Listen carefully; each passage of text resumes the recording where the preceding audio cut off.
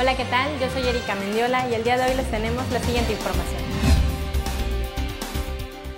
En Veracruz todo está en orden y es totalmente falsa la información que circula en redes sociales sobre supuestos atentados en escuelas de la zona conurbana Veracruz Boca del Río, aseguró el gobernador Javier Duarte de Ochoa a su llegada a dar el banderazo de inicio de construcción de la carretera Coatepec-Jalapa.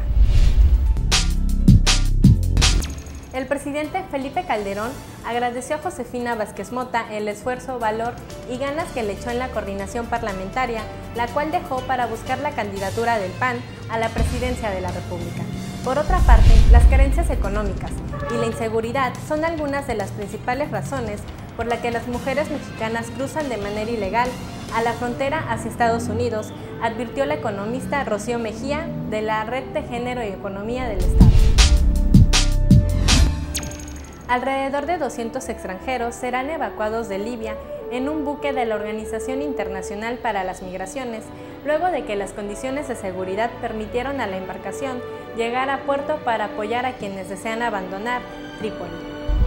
El gobernador de Carolina del Norte declaró que el estado de emergencia en el este de su territorio ante la llegada del huracán Irene de categoría 3 y que se espera que llegue allí el día sábado, por lo cual están tomando precauciones.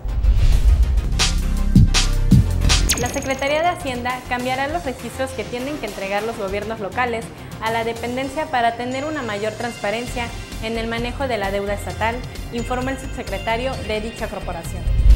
El desempleo a nivel nacional se mantuvo elevado en julio al agrupar a 2.749.236 personas. En junio la cifra fue de 2.679.000 personas, es decir, hubo un incremento de 97.837 personas sin laborar. Y de acuerdo al Servicio Meteorológico Nacional, para este fin de semana se tienen pronosticadas lluvias en el sur de Veracruz. Así que te recomendamos rentar películas o te dejamos con la siguiente recomendación para que vayas al cine.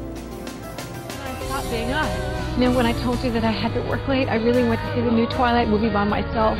And it was so bad.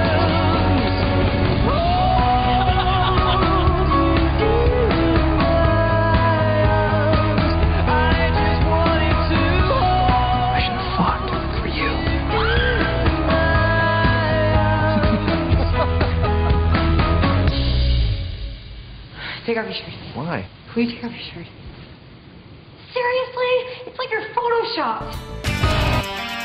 Liberal del Sur, periodismo trascendente.